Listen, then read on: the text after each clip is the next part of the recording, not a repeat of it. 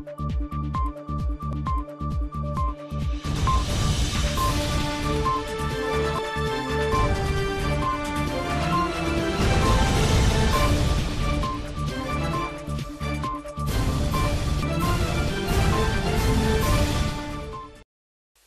Shalini plus बातमीपत्रात मी सुनील आपलं स्वागत करतो. बातमीपत्राच्या सुरुवातीला पाहूयात हेडलाईन्स साखर निर्यातीच्या हालचालींना वेग पन्नास लाख टन साखर निर्यात करण्याचा प्रस्ताव.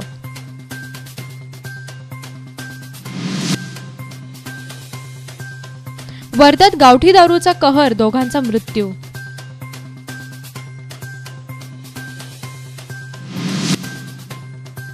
जेएनयू विद्यार्थी संघटना निवडणुकीत डाव्यांची आघाडी चारही जागांवर डाव्यांचा विजय.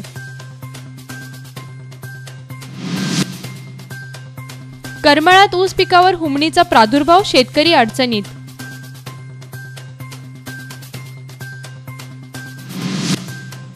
आणि पीक कर्जासाठी सोयगाव देवी येथे संतप्त शेतकऱ्यांचे बँक समोर ठिय आंदोलन. आता पाहूयात सविस्तर वृत्त. पुढच्या ऊस गाळप हंगामात अतिरिक्त साखरेची समस्या दूर करण्यासाठी केंद्र सरकारच्या हालचाली सुरू झाल्या आहेत. देशातून पन्नास लाख टन साखर निर्यात करण्याचा प्रस्ताव तयार करण्यात आल्याची माहिती समोर येते आहे. पुढच्या वर्षी गाळप हंगामात अतिरिक्त साखरेची समस्या दूर करण्यासाठी केंद्र सरकारच्या हालचाली सुरू झाल्या आहेत. साखर कारखान्यांना प्रति टन एकशे चाळीस रुपये देण्याचा प्रस्ताव आहे. सागर किनारी भागात दोन हजार पाचशे रुपये तर अंतर्गत भागात तीन हजार रुपये वाहतूक अनुदान दिले जाणार आहे. विक्रमी उत्पन्नामुळे घसरलेल्या दरावरती उतारा म्हणून केंद्र सरकार पावलं उचलत आहे. पन्नास लाख टन साखर निर्यात झाली तर देशांतर्गत साखरेचे दर वाढतील. अन्न मंत्रालयाने हा प्रस्ताव तयार केला असून पुढच्या आठवड्यातील केंद्रीय मंत्रिमंडळाच्या बैठकीत त्याला मान्यता देण्याची शक्यता आहे. भारत सरकारने असं अनुदान दिल्यास आंतरराष्ट्रीय पातळीवरती नवा पेच उभा राहू शकतो. ब्राझील आणि ऑस्ट्रेलिया हे देश भारत सरकारच्या अनुदानाविरोधात जागतिक बाजार संघटनेकडे तक्रार करण्याची शक्यता आहे. देशात साखरेचे विक्रमी उत्पादन झाले आहेत. मागच्या हंगामातील शंभर लाख टन आणि पुढे तयार होणारी साखर असे एकूण चारशे पन्नास टन साखरेचे उत्पन्न होईल. दर कोसळ्यामुळे शेतकऱ्यांना भाव देणे शक्य नसल्याने केंद्र सरकार वेगवेगळ्या उपाययोजना करत आहे. त्याचाच एक भाग म्हणून पन्नास लाख टन साखरेच्या निर्यातीसाठी अनुदान देण्याचा प्रस्ताव पुढे आला आहे. Bureau report Shalini plus Mumbai. दारूबंदी असलेल्या जिल्ह्यात दारूचा कहर पाहायला मिळाला. गावठी विषारी दारू पिल्याने वर्ध्यातील दोघांचा मृत्यू झाला आहे. त्यामुळे पोलीस प्रशासनाच्या कार्यपद्धतीवरती प्रश्नचिन्ह उपस्थित झालंय. दारूबंदी असलेल्या जिल्ह्यात विषारी दारूचा कहर पाहायला मिळाला. गावठी विषारी दारू पिल्याने दोघांचा मृत्यू झाल्याची घटना समोर आली आहे. सुनील नंदलाल पाठक असे मृतकाचे नाव आहे. वर्धा जिल्ह्यात दारूबंदी असताना अशा प्रकारची घटना घडल्याने पोलीस प्रशासनाच्या कार्यक्षमतेवरती प्रश्नचिन्ह उपस्थित राहिले आहे दरम्यान शेलूच्या ग्रामीण रुग्णालयात रात्री आणखी पाच लोकांना उपचारासाठी दाखल करण्यात आलं. त्यातील एकाचा मृत्यू झाला आहे. काल रात्री ग्रामीण रुग्णालय सेलू अंतर्गत कामठी सुरगाव इथून एक तीन चार पेशंट आले होते. त्यामध्ये एक सुनील नंदलाल पाठक चाळीस वर्षाचा हा इसम. जेएनयू विद्यार्थी संघटना निवडणुकीमध्ये अध्यक्ष उपाध्यक्ष सचिव आणि सहसचिव या चारही जागा बळकावत डाव्यांनी अखिल भारतीय विद्यार्थी परिषदेच्या उमेदवारांना पराभवाची धूळ चारली आहे. पाहुयात या संदर्भातली ही बातमी. जेएनयू मध्ये विद्यार्थी संघटनेच्या निवडणुकीत चारही जागांवर डाव्यांनी वर्चस्व मिळवलं आहे. अध्यक्ष उपाध्यक्ष सचिव आणि सहसचिव या चारही जागा बळकावत डाव्यांनी अखिल भारतीय विद्यार्थी परिषदेच्या उमेदवारांना पराभवाची धूळ चारली आहे. जे एन यू विद्यार्थी संघटनेच्या निवडणुकीत एन. साई बालाजी यांची अध्यक्षपदी निवड झाली तर उपाध्यक्षपदी सारिका चौधरी यांची वर्णी लागली. एजाज अहमद यांना संघटनेचे सचिवपद मिळाले तर अमुधा जयदीप यांनी विजयाची नोंद केली. ए आय एस एफ आणि डी एस एफ या चारही डाव्या संघटनांनी मिळून आपले उमेदवार दिले होते. अखिल भारतीय विद्यार्थी परिषदेचे चारही उमेदवार दुसऱ्या क्रमांकावरती आहेत. जवळपास पाच हजार जवळपास पाच हजार विद्यार्थ्यांनी मतदान केल्याची माहिती आहे. गेल्या सहा वर्षातील हे उच्चांक मतदान आहे. Bureau report Shalini plus Mumbai. Karmala तालुक्यात ऊसाची विक्रमी उत्पन्न घेतलं जातं. मात्र यंदा ऊसावरती हुमणी आळीचा प्रादुर्भाव झाला आहे. त्यामुळे बळीराजा संकटात सापडला आहे.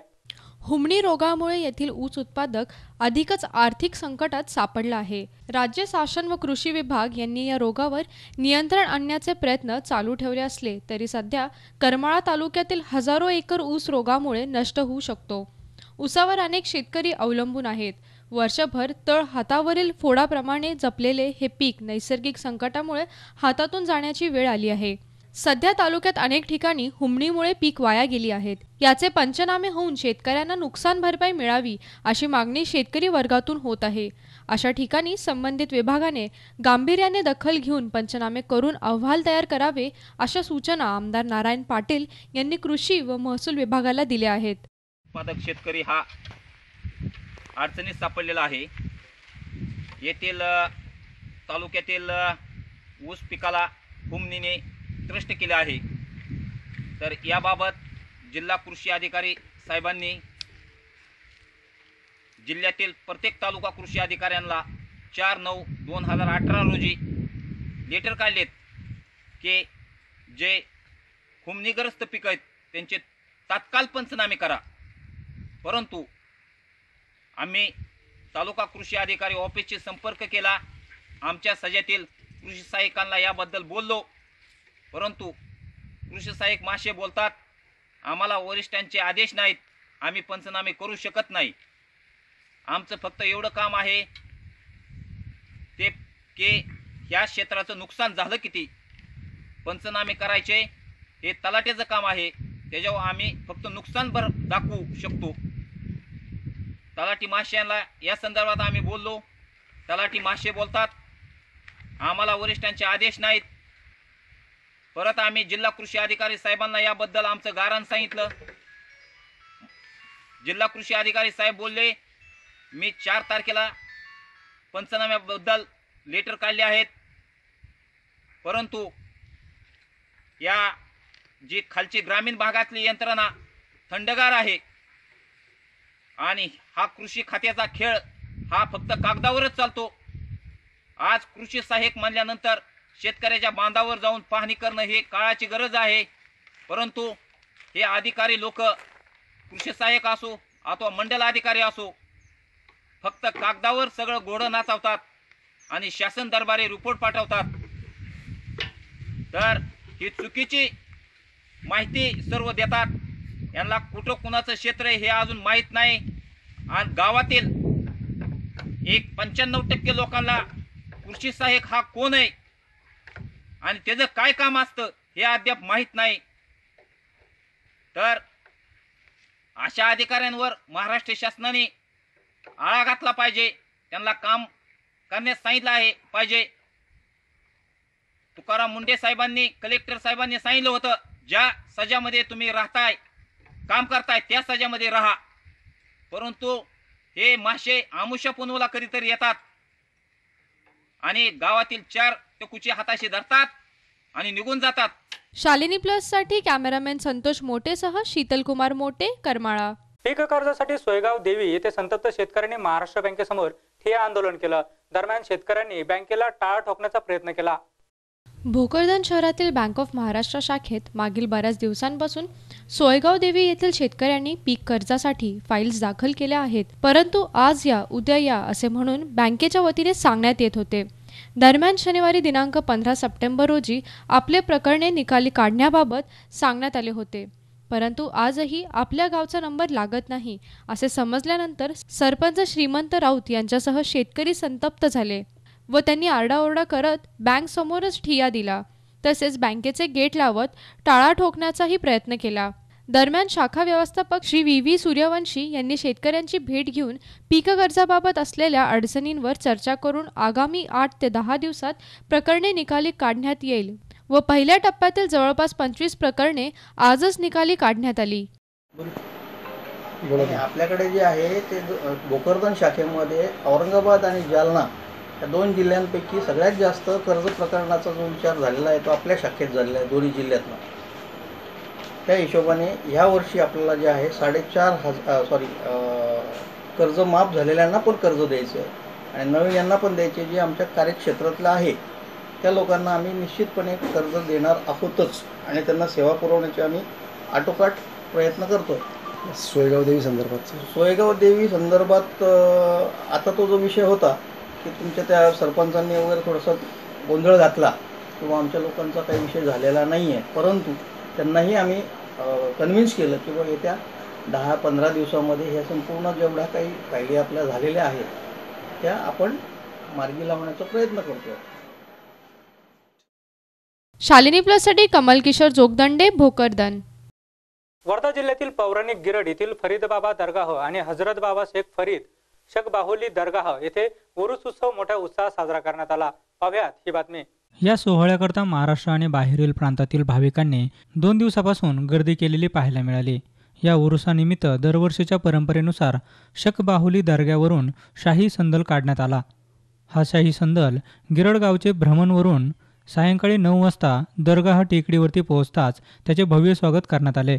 भाविकांकरता दरगाह टेकडीवरती सायंकाळी सहा वाजता दरगाह शाही लंगर म्हणजेच महाप्रसादाचे आयोजन करण्यात आले होते. रात्री नऊ वाजता टेकडीवरती शमाये मैफिले या कार्यक्रमाचं आयोजन करण्यात आलं होतं. रात्री चार वाजता गुलसचा कार्यक्रम करण्यात आला.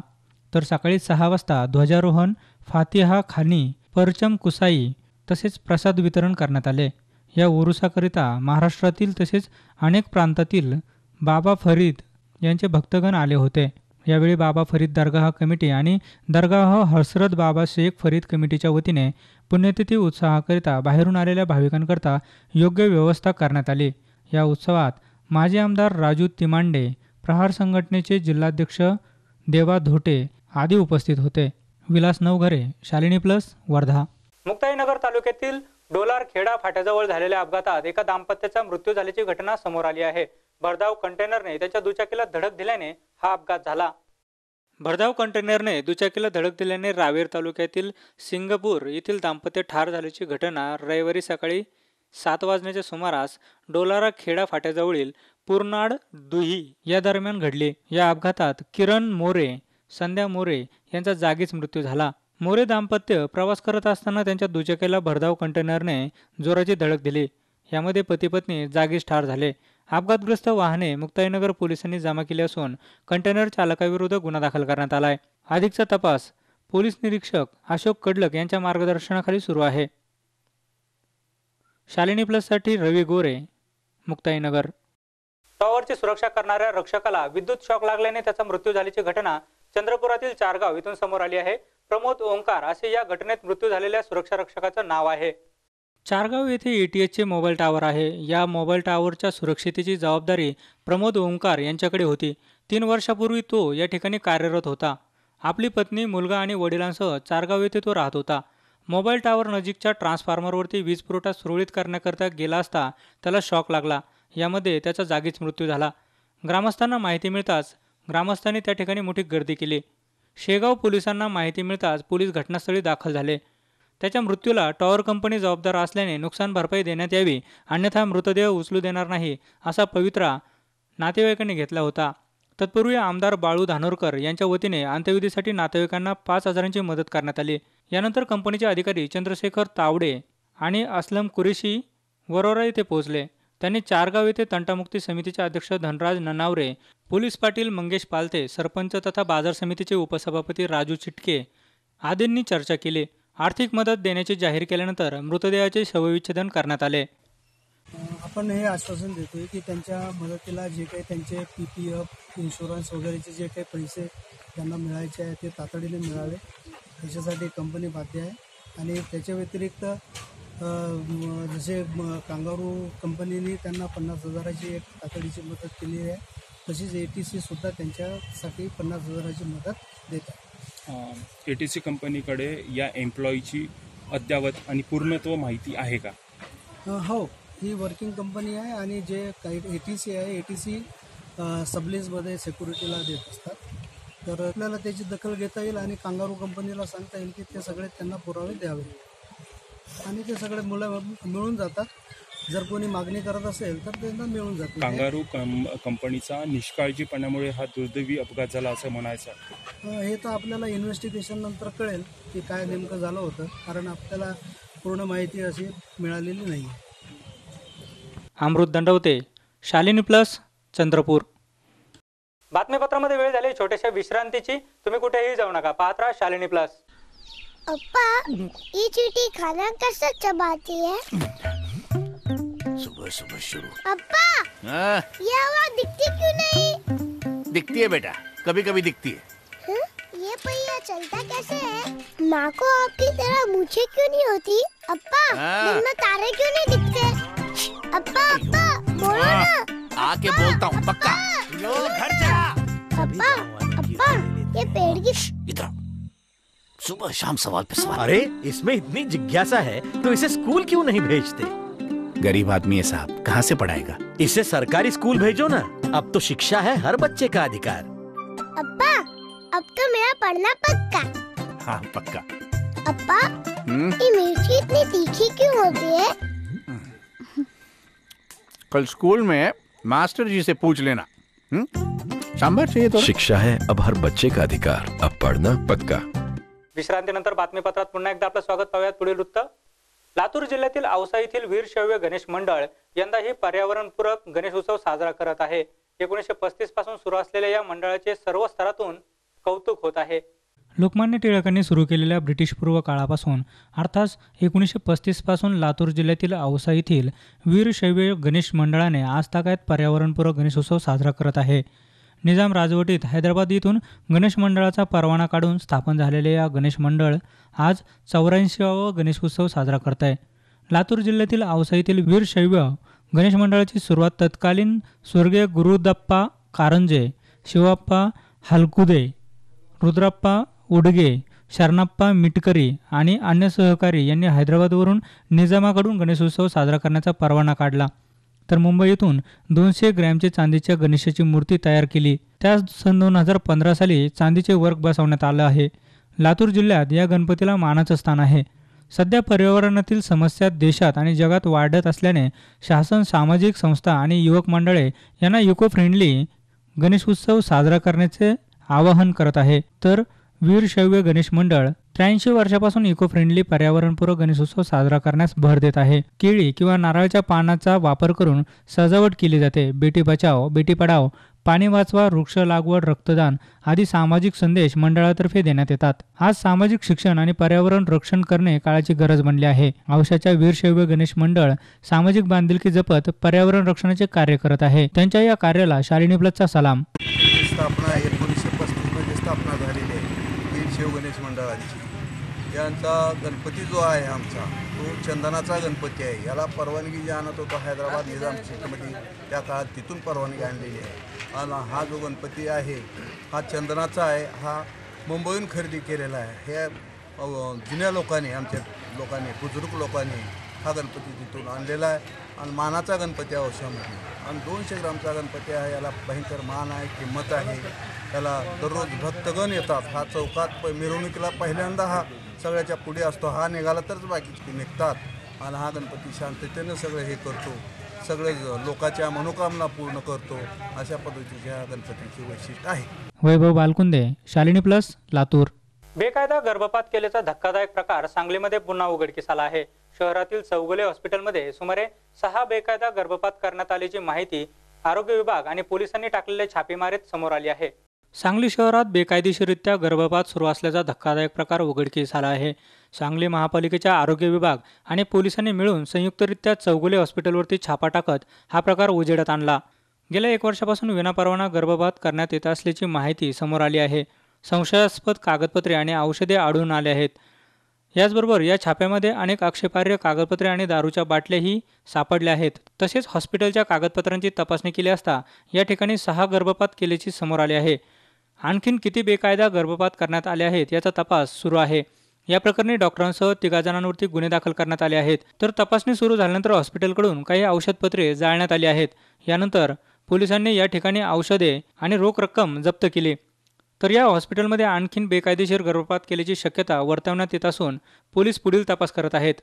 गेल्या वर्षी म्हैसाळ येथील गर्भपातामुळे संपूर्ण महाराष्ट्र आणि कर्नाटक हादरून गेला होता आणि पुन्हा एकदा यावर्षी सांगली येथे बेकायदेशीर गर्भपाताचा प्रकार उघडकीस आल्याने खळबळ उडाली आहे.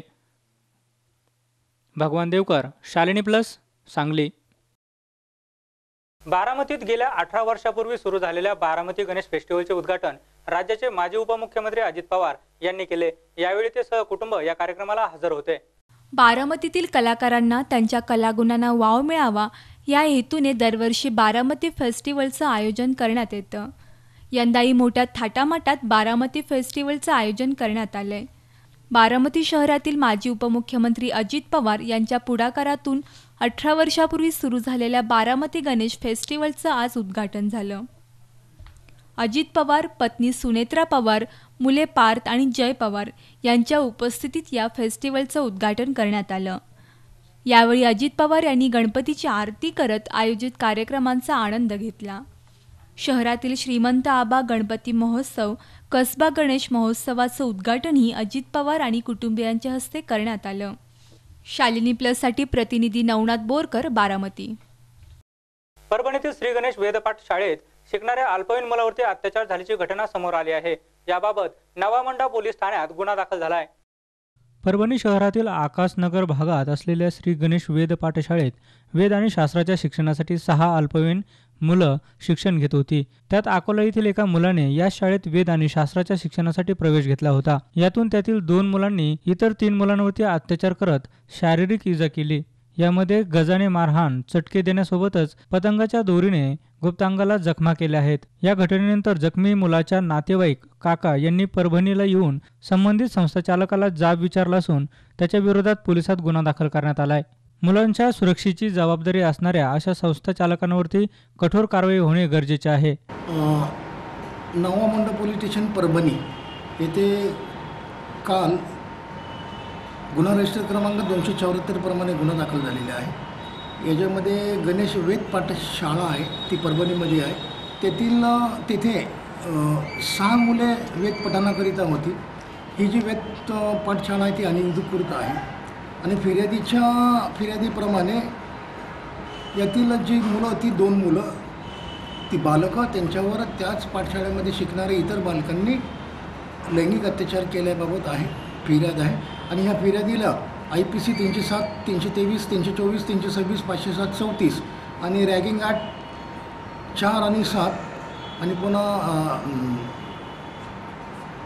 पॉस्को ॲक्ट आठ बारा सोळा सतरा एकवीस तेवीस आणि ज्युएनएल ॲक्टप्रमाणे यांच्यावर फिर्याद दाखल केलेली आहे. यातील जो स विवेक पाठशाळा चालक आहेत यांना ताब्यात घेतलेलं आहे. आणि जे इतर दोन विधी संघर्षग्रस्त बालक आहेत ते सुद्धा ताब्यात आहे. आणि त्यांना आज ज्युएनएल कोर्ट आणि रेग्युलर कोर्टमध्ये त्यांना सादर करण्यात आले येणार आहे. दोन विधी संघर्षग्रस्त बालक ह्याच्यामध्ये आणि एक जो पेद पाठ शाळा संचालक आहे त्यांना सुद्धा अटक केलेली आहे. ज्या मुलांना गंभीर जखमा झालेल्या आहेत त्याच्याप्रमाणे आम्ही तीनशे सात ह्या गुन्ह्यास आय पी सी सेक्शन लावलेलं पतावर आहे आणि याच्यातला एक विधी यातला एक मुलगा आहे तो अकोल्याला ॲडमिट आहे. हा तिथेसुद्धा तपासाकरिता आमची टीम रवाना झालेली आहे. आणि यातील आरोपी आणि विधी संघर्षग्रस्त बालक हे ताब्यात आहे. त्यांच्यावर आज न्यायालयामध्ये कारवाई करण्यासाठी त्यांना सादर करण्यात येणार आहे. अजूनही तपासावर आहे. जर याचा वाढ आरोपी तपासामध्ये जर आरोपी वाढ होत असेल तर निश्चित आम्ही ते करू. आणि याचा सर्व शास्त्रोक्त तपास पुन्हा याच्यामध्ये अं, साक्षीदार सगळ्या दृष्टिकोनातून याचा उत्कृष्टपणे तपास केला जाईल आणि तसा तपास आता सुरू आहे. रवींद्र देशमुख शालिनी प्लस परभणी. पाणी बचतीचा संदेश देत पैठण आणि परिसरात गौरी गणपतीचे स्वागत करण्यात आले. यावेळी करण्यात आलेल्या आरस आणि सजावट पाहण्यासाठी महिलांनी गर्दी केली होती. लक्ष्मीच्या रूपाने आलेल्या या माहेरवाशिनीच्या स्वागताची तयारी महिला आणि तरुणी गेल्या अनेक दिवसापासून करत आहेत. लाडू करंजा चकल्या अनारसे आदी पंचपक्वान्न. त्याचबरोबर गौरीच्या सजावटीसाठी साड्या दागदागिने आदी गोष्टींची तयारी करण्यात आली.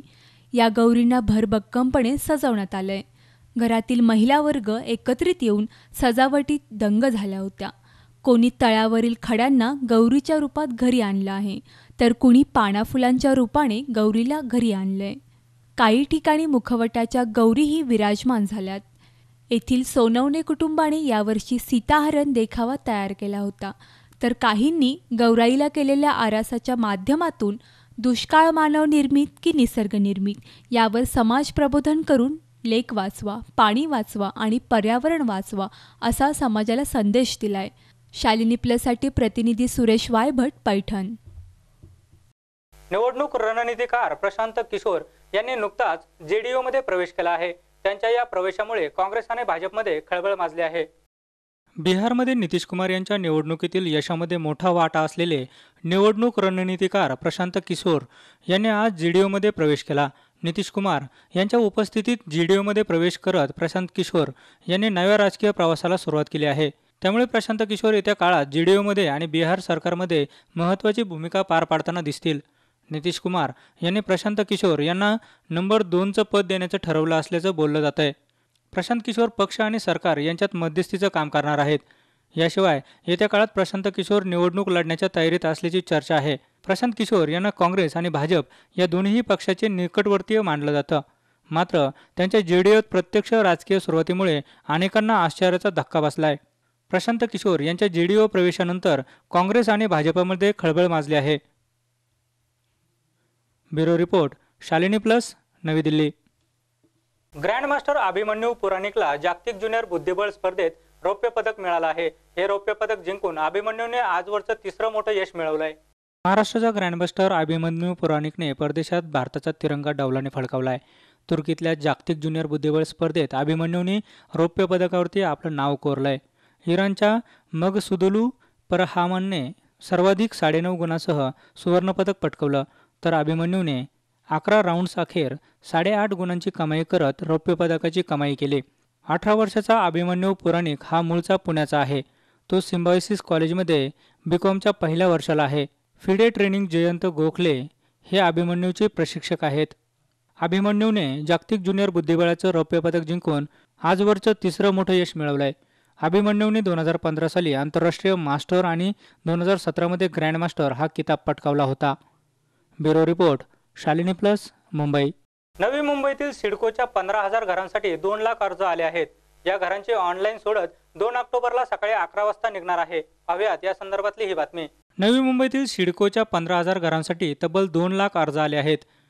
ज्यांनी यापूर्वी नोंदणी केली आहे त्यांना आज रात्री बारा वाजेपर्यंत अर्ज भरता येणार आहे. घरांची ऑनलाईन सोडत दोन ऑक्टोबर रोजी सकाळी अकरा वाजता होणार आहे.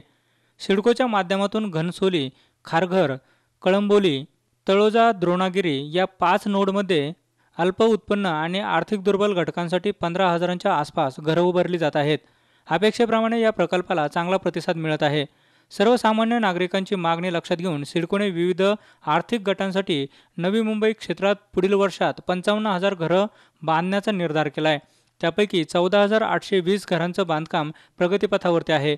M M R D A रेंजमध्ये म्हणजेच मुंबई नवी मुंबई ठाणे कल्याण डोंबिवली या भागात ज्यांच्या नावावरती घर आहे त्यांना या घरांचा लाभ घेता येणार नाही.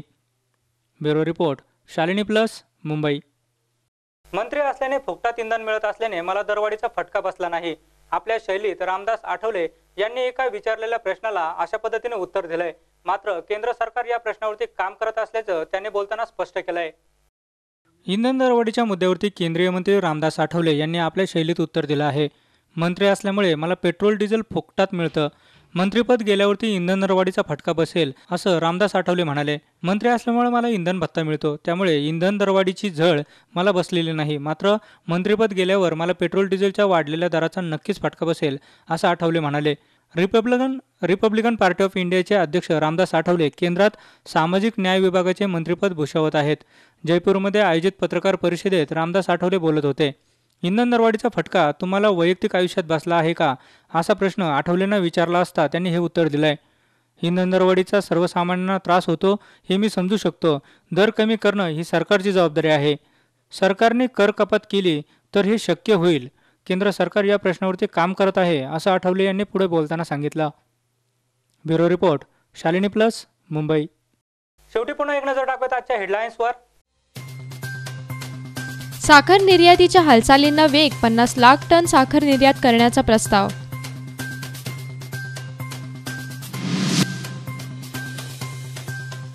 वर्ध्यात गावठी दारूचा कहर दोघांचा मृत्यू.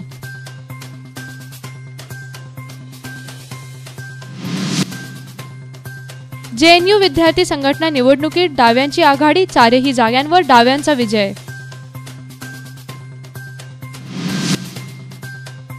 करमाळ्यात ऊस पिकावर हुमणीचा प्रादुर्भाव शेतकरी अडचणीत.